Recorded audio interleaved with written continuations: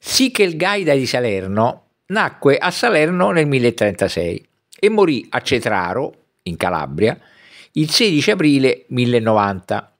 Fu una principessa longobarda, seconda moglie di Roberto il Guiscardo.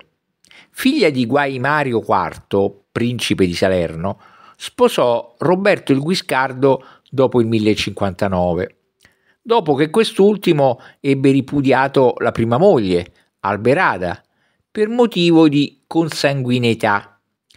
Il fratello di Sichelgaita, il principe Gisulfo II, manifestò un ostinato rifiuto alle nozze, che furono comunque subito celebrate. Donna di grande cultura e fermo carattere, seppe affermare la propria personalità a corte ed esercitare una notevole influenza sull'energico marito, che accompagnò spesso anche nei suoi viaggi di conquista. La principessa si recò nella capitale Melfi e nell'estate del 1059 riservò al pontefice Niccolò II un'accoglienza maestosa. Sichelgaida organizzò il primo concilio di Melfi e preparò lo svolgimento degli incontri che portarono prima al Trattato di Melfi e poi al Concordato di Melfi. L'alleanza tra la Chiesa e i Normanni avvenne tramite l'abate di Montecassino, Desiderio di Benevento, futuro Papa Vittore III, mentre le trame degli accordi vennero tessute da Godano, vescovo di Acerenza, legato a Roberto il Guiscardo.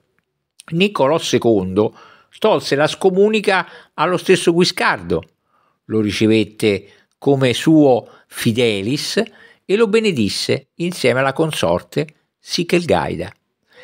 Malgrado iniziali, gli iniziali tentativi di convincere il Guiscardo a non attaccare l'impero bizantino, Sichelgaida fu comunque al suo fianco in questa campagna militare. Durante la battaglia di Durazzo del 1081 combatté in prima persona, armata di corazza, guidando le truppe di Roberto, quando queste furono inizialmente respinte dall'esercito nemico. Secondo la cronista bizantina Anna Comnena, Sichelgaida era come un'altra Pallade, se non una seconda Atena. Nel 1083 Sichelgaida fece ritorno in Italia insieme a Roberto per difendere Papa Gregorio VII contro l'imperatore Enrico IV.